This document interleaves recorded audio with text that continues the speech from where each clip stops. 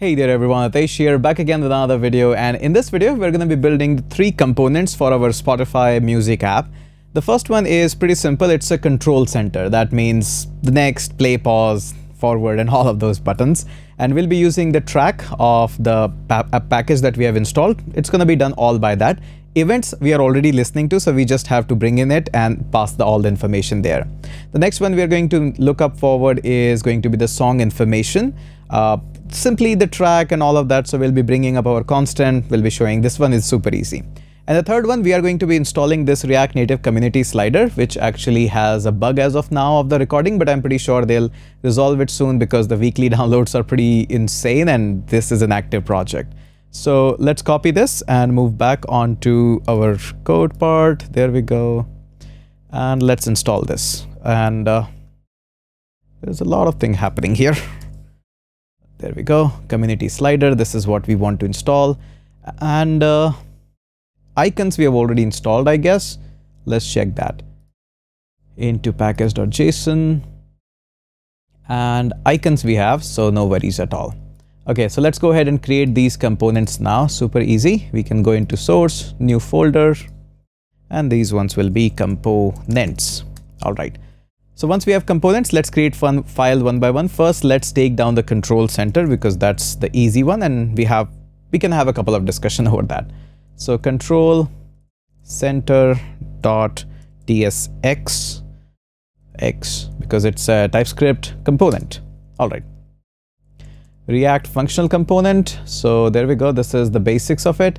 I'll convert this one actually into arrow function no such special need of it, but I would love to. There we go. So we are importing the React. Uh, that's all what we need as of now. Uh, this is not what we need. We need actually view from React Native. So we're going to go ahead and say, hey, let's bring in the view. And inside the view, uh, we'll write something in a minute. Okay, the first most important thing that we need to bring up is this track player. Now this track player, since we are using, uh, this is going to be control center. So play, next, forward, all of this will be uh, worked on that. All right, so this is it. And we'll be needing some more of this. We'll come back onto this in a minute, but that's okay. Okay, one by one. The first thing, oh, we forgot to import the icons, how we're going to have this previous and next and play and all of this. So let's go ahead and say icon and that will be coming up from uh, React Native React Native vector icons and this is an icon package so there are a lot of packages into it. Uh, don't use Font Awesome as of now, especially the Font Awesome 5 Pro. It might give you a lot of bugs. Uh, Font Awesome is okay, you can use that. I'll be using the material icons in this case, but feel free to use anything else if you wish to or you want to. Save this, why it is having icons is declared, but its value is never read. Oh, that's okay.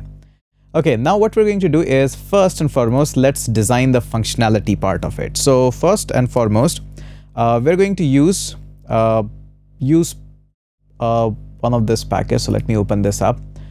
So if you remember, we have this playback service and inside this all, all events are getting listened. So let's go ahead and have this one and I can import it up here. Playback service. All right. So playback service is here. Let's remove this. Okay. First, all right, is let's design a simply playback state. This is just a variable and this variable is going to be coming up from use a playback service. So use playback state. There we go. Now, what is this use playback state? Uh, remember, if you remember, these are all the events that we have created, but also not only that, this use playback is actually given to us by React Native track players so that we can keep a track of all the states that are happening. Yes, you guessed it right. This is absolutely a hook which is given to us by this. Everything right, right now in the React and React Native is a hook. So now that this hook is ready for us and we can use this, uh, all we have got to do is just just pass on. So let me show you this. So first one is skip to skip to next. There we go. And this is going to be async, obviously. And further, we are going to have an arrow function just like this. There we go. All we have to do in this one is await for the track player to have a skip to next. There we go. That's all what we have to do. So we are going to have the skip to next. Now this, when is being injected on top of any button, this will do the magic. We don't have to worry. All the buffering of the tracks and everything, this is all being taken care of uh, for already by the track player. Let's go ahead and design. This was our next button. So let's go ahead and write next button and simply we can actually duplicate this. This one will be previous, previous button. Come on, previous button. And we're going to call this one as a skip to previous. And this one is simple, skip to previous. That's all. So two things are taken care of it already. We can have a skip backward and skip front. Now the next thing that we are going to do is we are going to have a toggle for the play and pause. So let's go ahead and see that how we are going to do that. Really simple. We are going to call this one as uh, toggle. You can design two separate buttons as well, but it makes sense to have just one. So we're going to say toggle playback. And in this toggle playback, we're going to first use this async because this takes some time. Sometimes the song is already in the player buffer and it needs to just play it out. So yes, it takes time. Okay. Now the data that's going to be coming up to this one is playback. Playback. And this will be of type state. All right, this state will be given to us again by a React Native track player. Okay, so now that this is keeping a track of all the state that is coming to it, let's go ahead and work like this. Now it is super simple. First and foremost, let's get what is the current uh, track. So we're going to go ahead and say const current track and this current track, my keyboard is too far. Current track, we can go ahead and get it from track player and it can give us the get, oops, my bad, get current track. Okay, now you know what track you are playing so that when at the time of pause and resume, you can actually resume this properly. Now, super simple. Next up is we are going to go ahead and have this current track. And if that track is not equals to null, that means there should be something, then only we are going to proceed. Further, we are going to check what is the current state.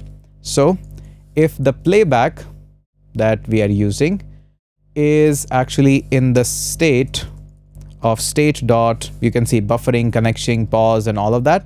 We'll be using if it is paused or ready. We have to keep a track of two. Or the playback is actually in the state of ready because there might be in a ready state to play the next song. In that case, we'll be just showing the icon of play. So we're going to go ahead and say await track player should perform the action of play. In all the other case, uh, else, we're going to go ahead and say await track player and this should pause. Okay, now all we have to do is attach it onto a pressable or any button and that's it. Okay, so this is the functionality part. Let me repeat this part again because this is a little bit, we did it in a little bit hurry. So let me just explain this. So what we are doing is we are keeping a function, we are calling it as toggle playback, that's super easy. Now in this, we cannot directly go ahead and just pause and play like that. This needs to be done by the track player. Apart from track player, the package actually gives you a playback, which is actually a state of what is happening to the music currently. We brought it in, uh, use playback, we used that hook already, and we are bringing this state from it. Now once I get the access to this state, first I need to get the current track because I need to play and pause that particular track. Once I have access to this track, I'm checking that whether this track is not equals to null. Otherwise, if there is nothing, what should I play? It will obviously crash my application. So I'm checking whether the state is in pause mode or the state is in the ready mode. In both the case, I need to show the play button or I can say I need to perform an action of the play. Again, I forgot here a small thing. So it needs to be play and it needs to be a pause like that. And in all other case, we should actually pause the current track. So that's all it will be doing. Now in the return statement, let's go ahead. I'll provide you the, the CSS files. We won't be for, uh, working too much on that. Uh, let me just first give you the CSS file. Let me just pause the video and grab the CSS files. All right, so brought in this uh, style sheet up here and we need to bring this style sheet from React Native. So view is here and we need to grab the style sheet as well. All right, should be all happy. There we go. Now let's go ahead and work on with this. This is super, super easy. All we got to do is get a view, provide some styling to this one. The basic styling style.container, nothing much. There we go. Now let's go ahead and have a pressable. This is pressable and uh, we are going to go ahead and close this like this. Get an on press event onto this one. Yep, there we go. And this one is going to be skip to next. Or skip to previous. Yeah skip to previous. First we'll have skip to previous. That's the left side. And inside this we'll have an icon. So let's go ahead and grab an icon just like this what icon we'll be using. First let's provide a style that we have written already for this one. So styles dot icon. And the icon name is going to be skip previous. Skip dash previous. Size is going to be around 40 because that's when we were testing the app. This is what we used. Okay uh, 40 so that is okay so this is our button for uh, going back and we need two more buttons uh, one for the play and one for uh, the next. So we'll just copy it two times. The last one is actually super easy, so we'll first take it down. This one is going to be skip to next and this one is going to be skip next. Super easy. So this one is already taken care. This pressable is where the icon is going to come up. So this one is going to say toggle. So we'll say simply toggle playback and that's the major portion of it now that's remaining is the fancy part of all of this okay so this actually needs to go not like this actually. We're going to go ahead and uh, we need to provide the playback state as well. All right. So we'll go like this and we'll say that, hey, uh, this toggle playback, you actually get the state of it. So playback state. There we go. This should be happy now. Now let's go ahead and work on with the styling of it. So one line each, much better now. Icon, the name is going to be not this.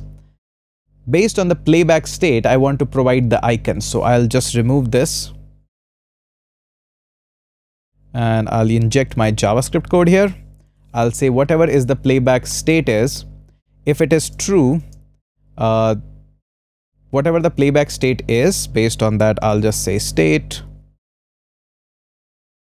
dot playing. If this is the state, provide one icon otherwise provide other icon. Okay, so playback state is if it is equals to playing, I want to provide a play uh, pause icon. So, and if it is not, then I want to allow the user to play it. All right.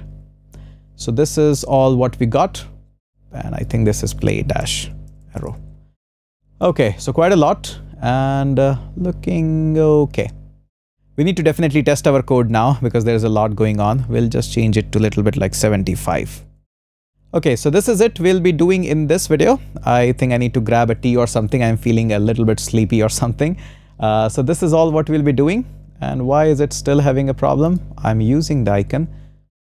Yep, I'm using the icon. So let's save this and hit a reload. There we go. Now it's it should be all happy. Hmm. I'll see this, I'll check this up. I'm feeling a little bit lazy, so let me grab some uh, tea, iced tea of course, and we're gonna catch up in the next video.